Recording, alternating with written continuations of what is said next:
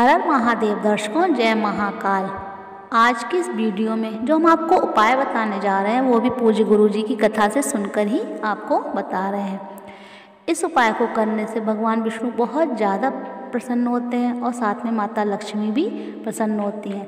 कहते हैं इस उपाय को करने से माँ, भगवान विष्णु के साथ साथ माता लक्ष्मी भी आपके घर में विराजमान रहती हैं और आपके घर में धन संपदा की कमी नहीं रहती।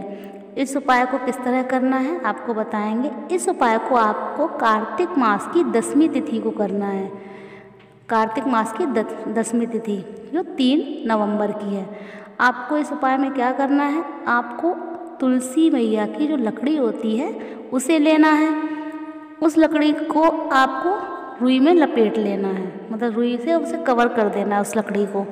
फिर उसे देसी घी में, गाय के देसी घी में उसे डिबोना है और उसकी बाती तैयार करनी है। आपको तुलसी माता की एक लकड़ी लेनी है, उसे रुई में कवर कर दीजिए और उस घी में डुबोकर उसकी बाती तैयार कीजिए और उससे ही आप दीपक जलाइए। क्योंकि केवल लकड़ी का जो दीपक आप जलाएँगे तुलसी का, वो ठीक से नहीं जल पाएगा, इसीलिए आपको रुई में ज़रूर कवर करना पड़ेगा।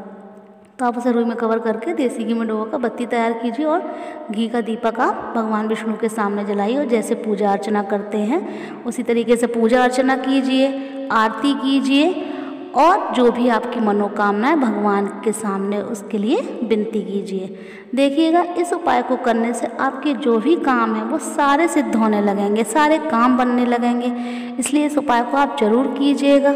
अगर आपको वीडियो अच्छी लगी तो प्लीज़ वीडियो को लाइक करें, चैनल को सब्सक्राइब करें और कमेंट बॉक्स में हर हर महादेव ज़रूर लिखें। हर हर महादेव, जय महाकाल।